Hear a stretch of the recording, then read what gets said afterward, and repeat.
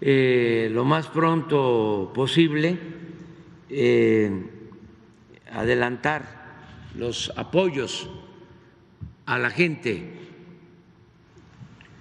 empezando por, por entregarles eh, lo que les corresponde de los programas de bienestar, adelantarles todos los apoyos a adultos mayores, a becarios.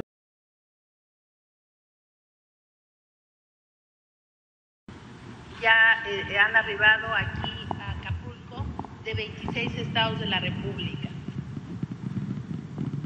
Y hasta el momento, le informo, se han censado hasta el día de ayer en la noche 20.971 viviendas, eh, registrando la afectación de los daños a las mismas, a sus servicios, la pérdida de enseres, el cultivo y ganado en su caso en las zonas rurales.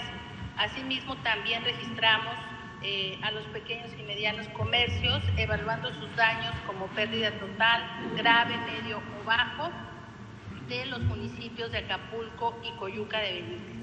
Ese es el informe, presidente. Sí, este, han censado más de 20 mil Así es, presidente. viviendas. Así es, estamos ya llegando a la cantidad de 20.971 registros Sí. y el día de hoy seguramente avanzaremos mucho más. ¿Y cuántos este, promotores, servidores de la nación están ayudando? Eh, estamos con una primera brigada de mil servidores.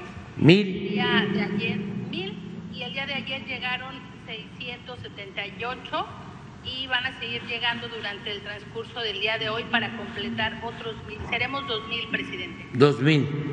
Bueno, hay que eh, avanzar y como quedamos ayer, eh, lo más pronto posible, eh, adelantar los apoyos a la gente,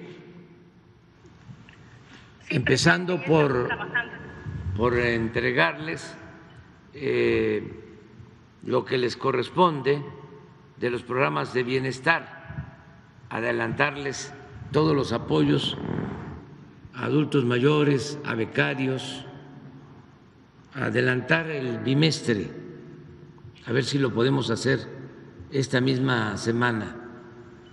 Esto Sí, lo vamos a complementar eh, con la ampliación de programas de apoyo a los jóvenes. Ahora eh, pueden tener empleo muchos jóvenes en trabajos de limpieza, en jóvenes construyendo el futuro. Y vamos a, a incrementar todos los programas de bienestar, pero tenemos que hacerlo de manera ordenada, como ustedes saben hacer este trabajo.